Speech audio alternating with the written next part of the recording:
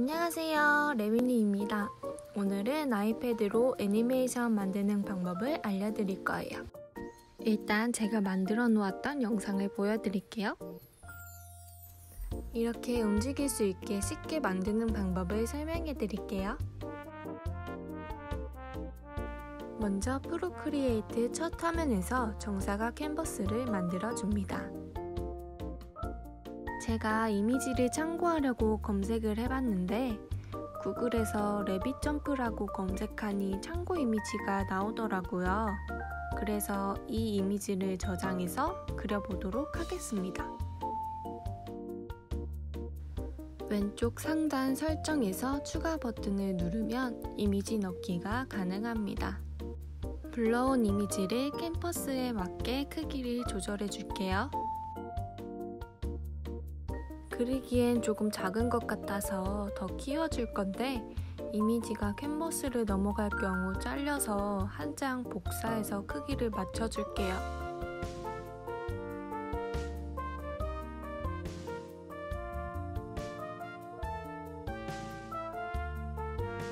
이 정도 사이즈로 맞추면 될 것 같아요.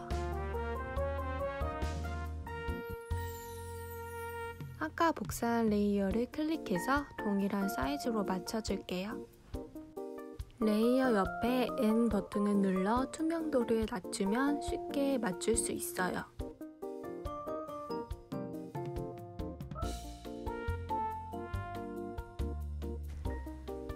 두 번째 레이어를 잠시 꺼두고 첫 번째 레이어만 켜주세요. 그리고 그 위에 레이어를 하나 추가해줍니다. 여기에 검은색으로 토끼 라인을 따라 그리면 됩니다. 저는 HB 연필 브러쉬로 그릴 거예요. 이제 이미지의 라인을 따라 그려줄게요.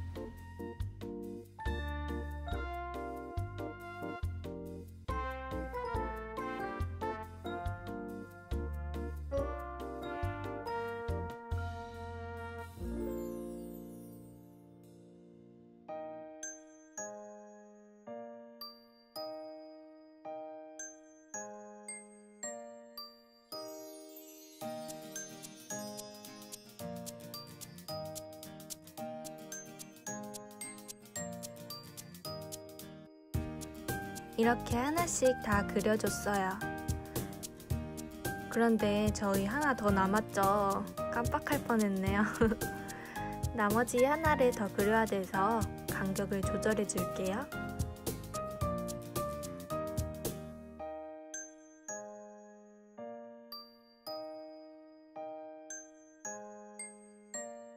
조금씩 옮겨줬더니 하나 더 그릴 수 있는 공간이 생겼어요. 위에 있던 이미지 레이어를 아래로 내려주고 마지막으로 그릴 토끼 위치를 잡아줍니다. 첫 번째 이미지는 지워줄게요. 그리고 레이어를 추가해서 상단으로 올린 뒤 마지막 토끼를 그릴게요.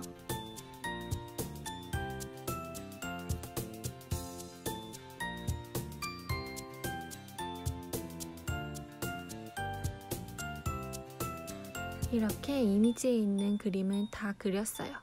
일단 animating으로 움직이게 만들어 볼게요. 왼쪽 상단 설정에 캔버스 애니메이션 어시스트를 클릭해 주세요. 그럼 이렇게 밑에 재생할 수 있는 바가 생기는데 움직임이 너무 빠르니 설정을 눌러 초당 프레임을 낮춰줄게요.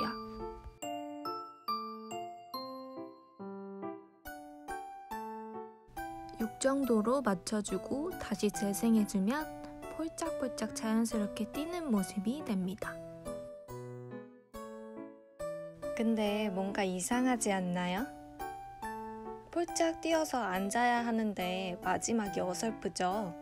그래서 더 채워줘야 할 것 같아요.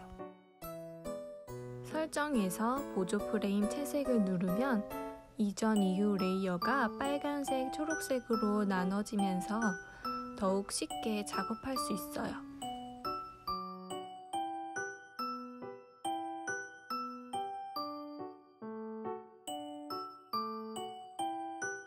아, 제가 마지막 토끼의 귀한 쪽을 빼먹었더라고요. 다시 그려주고 다음으로 넘어갈게요. 이제 자연스럽게 앉은 모습을 그릴 건데 마지막 토끼 레이어를 오른쪽으로 밀어 복사 후 맨 위로 올려주세요. 토끼 위치를 왼쪽 끝으로 옮기고 마지막과 동작이 이어지게 모양을 잡아줍니다.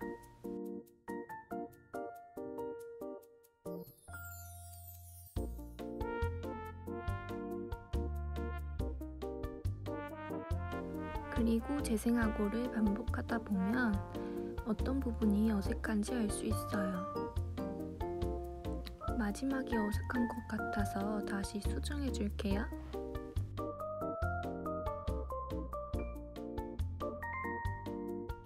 그리고 레이어를 하나 더 추가해서 마지막 동작을 그려줄 거예요.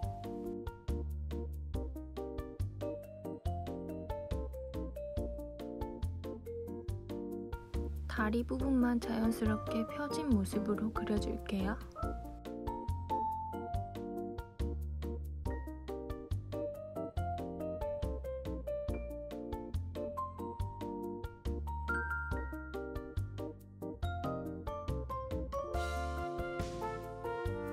자, 이렇게 마지막 그림이 완성됐어요.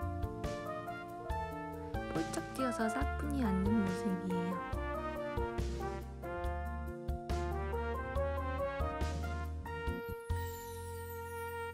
이번엔 루프 말고 핑퐁으로 해볼까요?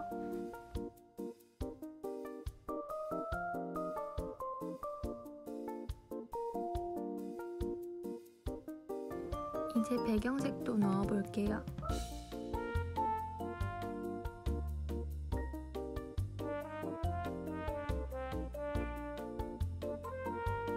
토끼 라인만 그려서 밋밋해 보이죠? 이제 토끼색을 칠해볼게요. 라인 레이어 밑에 레이어를 하나 추가해 줍니다. 색상은 흰색으로 할게요. 지금 애니메이터를 켜놔서 라인이 안 보여요. 설정에 들어가서 다시 애니메이터를 꺼줍니다. 그럼 이렇게 겹친 레이어가 보여요. 앞에 레이어를 꺼주고 아까 추가한 빈 레이어에 색을 칠해줍니다.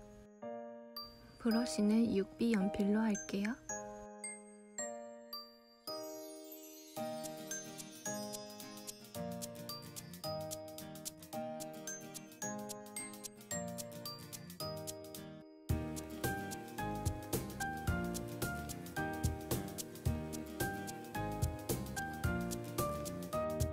다 칠해주고 위아래를 꼬집어주듯 클릭해주면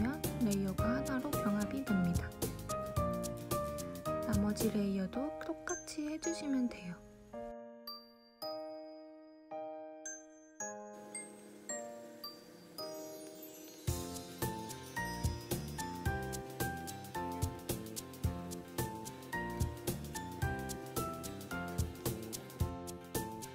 다 칠해줬어요. 이제 다시 애니메이터를 켜줄게요.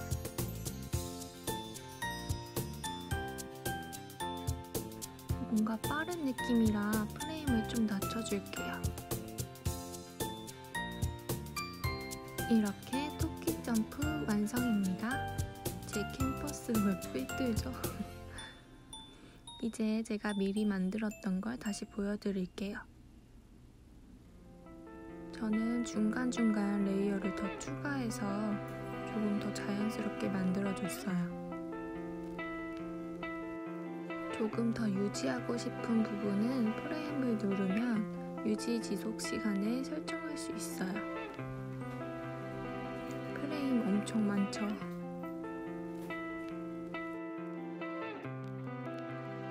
저는 마지막에 눈 깜빡이는 것까지 해줬습니다. 그림이 움직이니까 재밌지 않나요? 아직은 많이 안 해봐서 간단한 것밖에 못하지만 앞으로 다른 애니메이션도 해보려고요.